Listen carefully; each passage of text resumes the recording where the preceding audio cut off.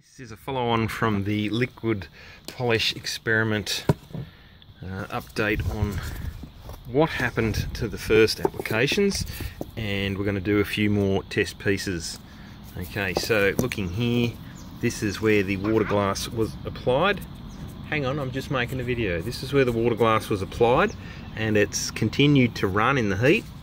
Some of it ran across here onto the stuff that was uh, the secret sauce and the secret sauce uh, I was expecting this to look shiny but where the water glass has come over the top it's made the frosted looking stuff completely disappear and it's given that glazed effect. So it looks like my secret sauce plus the sodium silicate would be the way. Um, let's have a look at the, the dried out secret sauce.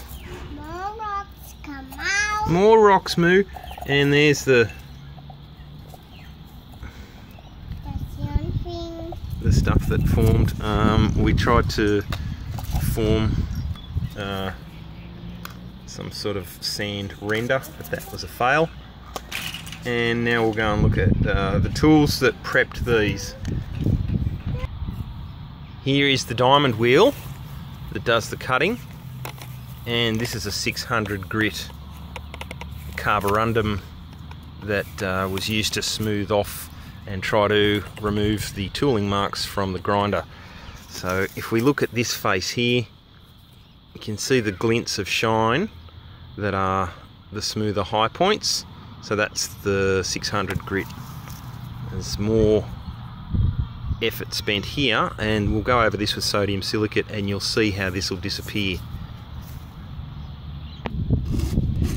Just after viewing Ben's video on the subject of the liquid stone, I'd also been watching ClickSpring and he'd just been polishing using the, uh, uh, what is it, the, um, the shellac and alcohol, uh, French polish method.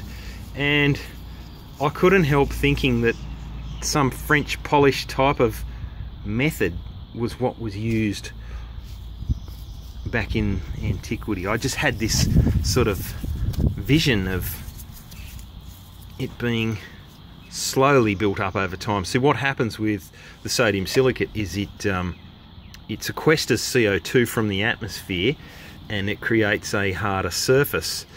Um, if you're using it in, in foundry work, then um, CO2 is sometimes injected into the uh, sandy mold to increase the um, to speed up the that uh, that time that it takes.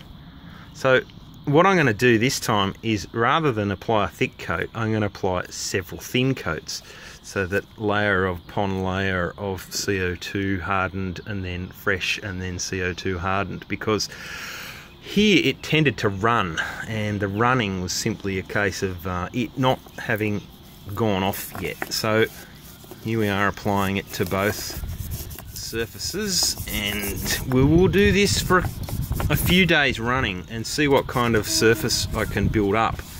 Um, let's have a quick overview of, uh, just get this glove off because it's uh, sodium silicate is a little bit on the caustic side. Okay, so I wanted to poke at this glazy looking stuff here and see what it does when we uh, sort of interrupt it. Oh, it's quite glassy feeling. Uh, am I in the right spot? There we go. It's it's coming away. Um, sodium silicate is a compatible uh, material for uh, sealing concrete. Um, so I think over time this stuff would just get harder and harder and more, uh, you know, more mineralized as uh,